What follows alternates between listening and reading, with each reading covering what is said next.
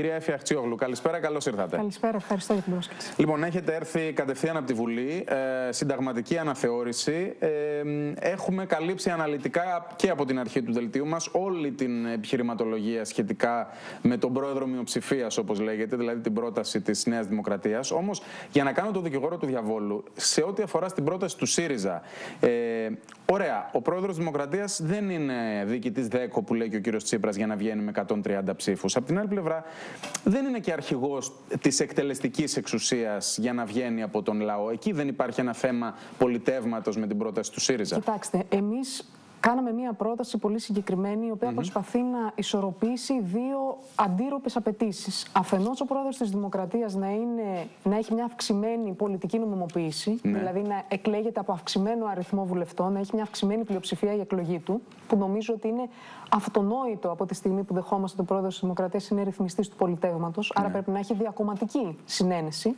Άρα δεν μπορεί να είναι απλώς η επιλογή μιας συγκεκριμένης κοινοβουλευτικής πλειοψηφίας. Και από την άλλη να αποσυνδέσουμε την εκλογή του Πρόεδρου της Δημοκρατίας από τη διάλυση της Βουλής. Ναι. Αυτό είναι κάτι που το θέλουν σχεδόν όλα τα κόμματα. Πρέπει να αποσυνδεθεί, να μπορεί η κυβέρνηση να ολοκληρώνει την θητεία της και το σχέδιό της. Για να εξισορροπήσουμε αυτές τις δύο απαιτήσεις, εμείς τι λέμε; Εμείς κάναμε μια πρόταση η οποία έχει μια επίπονη διαδικασία εξέβρεσης συνενέσεων εντός της Βουλής που κρατάει στο απότατο σημείο της μέχρι 6 μήνες, δημιουργεί ουσιαστικά ένα ασφικτικό κλειό, ώστε να μπορέσουν οι πολιτικές δυνάμεις να έρθουν, να έρθουν σε μια συνεννόηση, για να μπορούμε να έχουμε ένα πρόσωπο που θα την χάνει μιας διακομματικής συνένεσης. Όποιος δεν α, μπαίνει στη διαδικασία συνενέσεων υφίσταται ένα τεράστιο πολιτικό κόστος ναι. στην πραγματικότητα λόγω αυτής της θεσμικής mm -hmm. καθυστέρησης, εκτροπής και ταλαιπωρίας. Δεν θα το αναλάβει κανείς, προκειμένου να καταλήξουμε στις συνενέσεις. Ως ακραίο σημείο, αν δεν υπάρχουν συνενέσεις, ως σύστατη καταφυγή, λέμε την εκλογή του από το λαό, αλλά ξαναλέω σύστατη καταφυγή. Διότι στο τέλος της μέρας στη δημοκρατία διέξοδα δεν υπάρχουν. Ναι. Τα διέξοδα λύνονται από τον κυρίαρχο λαό. Η Νέα Δημοκρατία αντιθέτως καταθέτει μια πρόταση η οποία προβλέπει ότι μετά από κάποιες πολύ συντομότερες και πολύ πιο απλές διαδικασίες, στο τέλος της μέρας mm -hmm. ο πρόεδρος της Δημοκρατίας θα εκλέγεται με σχετική πλειοψηφία. Ναι. Σχετική πλειοψηφία δεν σημαίνει ούτε καν 120 που λέτε. Το Σύνταγμα λέει ότι για να λάβει απόφαση Βουλή, η Βουλή μπορεί να πάρει απόφαση με 75 βουλευτές υπέρ, ναι. όταν όλοι οι άλλοι απέχουν. Άρα, πρακτικά η Νέα Δημοκρατία προτείνει μια εξέλιξη στην οποία ο πρόεδρος της Δημοκρατίας θα μπορεί να εκλέγεται και με 75 βουλευτές, αν όλοι οι άλλοι απουσιάζουν. Προτείνει δηλαδή έναν πρόεδρο της Δημοκρατίας, τον οποίο θα τον έχει καταψηφίσει ή θα τον έχει καταψηφίσει η απόλυτη πλειοψηφία των βουλευτών, ή θα τον έχει σε κάθε περίπτωση απορρίψει δια της αποχής της. Τι πρόεδρος της Δημοκρατίας θα είναι αυτός, τι είδους δηλαδή διακομματικής, όχι διακομματική συνένεση, εδώ δεν θα είναι, θα είναι ένας πολιτικά εντελώς απαξιωμένος πρόεδρος και ναι. συγχρόνως ένα υποχείριο, ένα εργαλείο μιας πολύ συγκεκριμένης, ενός πολύ συγκεκριμένου συγκεκριμένου κόμματο, μιας mm -hmm. πολύ συγκεκριμένης πολιτικής δύναμης. Υπάρχει δε και το άλλο πράγμα που πρέπει κανείς να λάβει υπόψη του, ότι αν αυτός ο πρόεδρος της Δημοκρατίας μεθαύριο αλλάξει κυβέρνηση. Ε; Αν για παράδειγμα σήμερα επιλέξει να κάνει πρόεδρο της Δημοκρατίας τον Άδωνη Γεωργιάδη. Ένα πρόσωπο που δεν θα λέγαμε ότι έτσι συγκεντρώνει πάνω του και διακομματική συνένεση, διότι με την πρόταση που κάνει η Νέα Δημοκρατία μπορεί να οδηγήσει εκεί στον εκλεγεί ο κ. Άδωνης Γεωργιάδης. Παράδειγματι, ναι. πρόεδρος της Δημοκρατίας. Και μεθαύριο έρθει μια άλλη κυβέρνηση. Ο συγκεκριμένος πρόεδρος της Δημοκρατίας που θα είναι ουσιαστικό όργανο του κόμματος.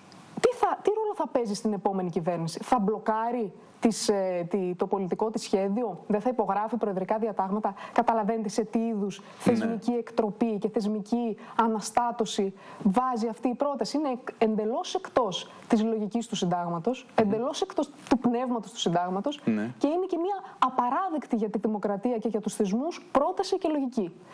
Και υπάρχει και ένα α, κόλπο το οποίο μεταχειρίστηκε η Νέα Δημοκρατία. Άκουσα τον προηγούμενο σας καλεσμένο, ο οποίος το αρνήθηκε. Αλλά τα πράγματα είναι πολύ σαφή. Η Νέα Δημοκρατία το 2014 ουσιαστικά υποστήριξε ακριβώς την ίδια πρόταση που έχει ο ΣΥΡΙΖΑ σήμερα, με υπογραφές των κυρίων Σαμαρά και του κυρίου Μητσοτάκη. Mm Στην προηγούμενη, στην προτείνουσα Βουλή, όταν έκανε την πρόταση ο ΣΥΡΙΖΑ, την ίδια πρόταση που, που σας λέω, την προσυπέγραψε και είπε μάλιστα συμφωνούμε. Ο ΣΥΡΙΖΑ έχει και κατεύθυνση στην πρόταση mm. της αναθεώρησης. Δεν έλεγε απλά θέλω το νούμερο τάδε, το άρθρο τάδε, έλεγε και σε ποια κατεύθυνση.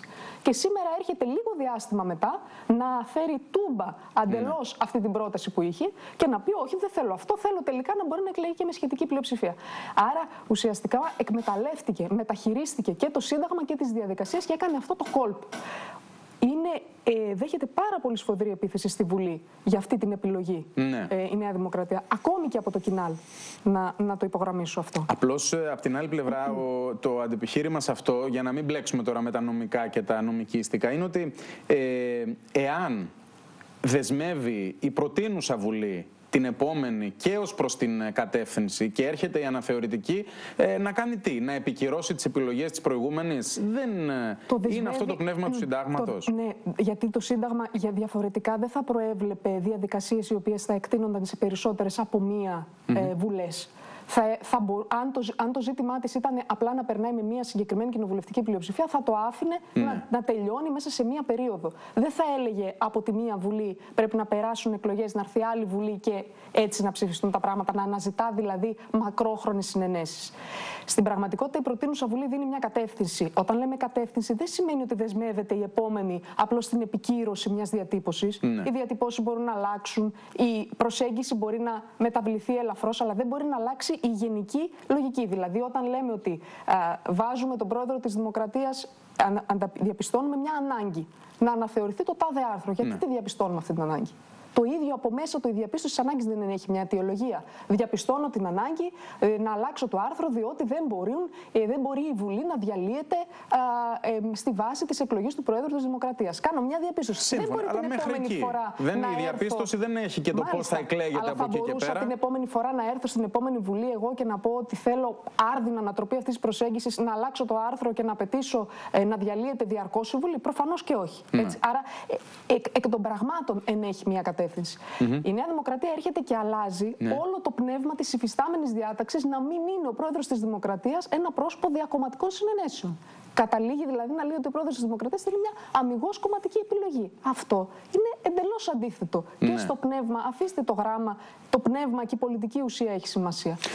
Κυρία Χρυσιόγλου, δεν, ε, η συνταγματική αναθεώρηση δεν είναι πολύ δημοφιλές θέμα. Δεν πουλάει είναι, τέλος δυστυχώς. πάντων και δεν ε, βρίσκεται καθημερινά στην κορυφή της επικαιρότητας. Ωστόσο, θα ήθελα μια αξιολόγηση, επειδή κατηγορείται την κυβέρνηση ότι ό,τι δεν της άρεσε από τις προτάσεις της προηγούμενης Βουλής που πρότεινε ποια άρθρα θα αναθεωρηθούν, τα έχει πετάξει στο καλάθι των αχρήστων και έχει κρατα- κρατήσει μόνο αυτά τα οποία υπηρετούν τις δικές της πολιτικές σκοπιμότητες.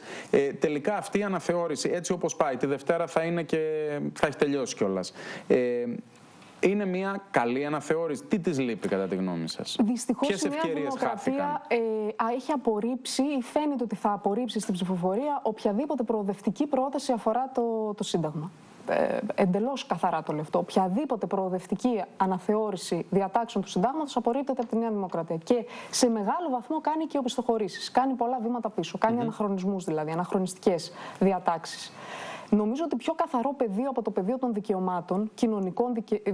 δικ- κοινωνικών ατομικών, κυρίως εργασιακών δικαιωμάτων, που ο, πιο... ο καθένας πολίτης μπορεί να το καταλάβει, δεν υπάρχει. Ναι. Προτείναμε να μην υπάρχει διάκριση της αμοιβής λόγω ηλικίας. Για να μην ξαναέχουμε παραδείγματα υποκατώτατου μισθού. Ναι. Απορρίφθηκε.